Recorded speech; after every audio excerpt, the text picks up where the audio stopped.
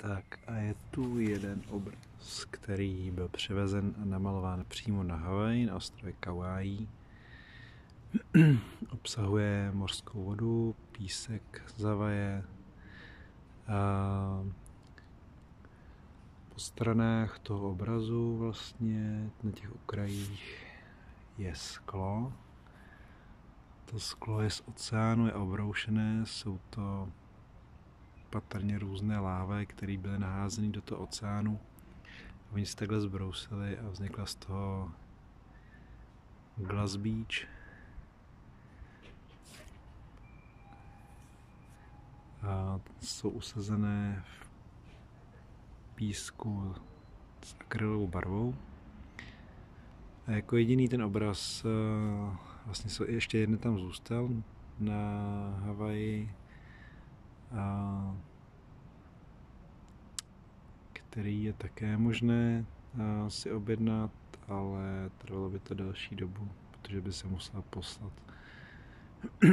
tak tenhle obraz má název Srdce Kawaii nebo Srdce Havaje.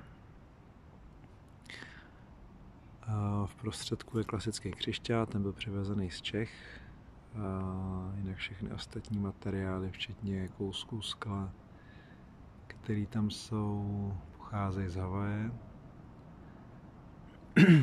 Ten rozměr je atypický, je to něco, nějaký rozměr americký 35 x 45 zhruba, nebo nějak tak.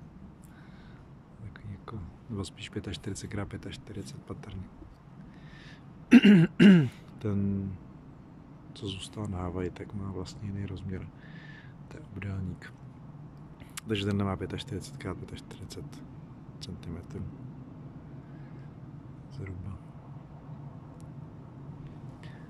Tak, obraz je zaměřený na, energe- na energetické léčení čaker, fyzického těla, aury, energetických těl, okolního prostoru,